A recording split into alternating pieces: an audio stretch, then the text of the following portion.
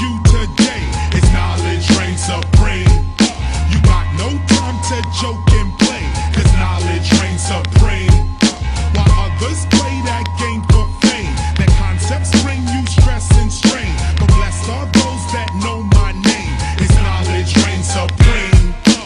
Why do I call myself God when I'm speaking? People always ask me this you gotta understand is that KRS don't exist. The only existence is God consciousness. And God consciousness is what exists is KRS. Your ego tells you that you're doing all this.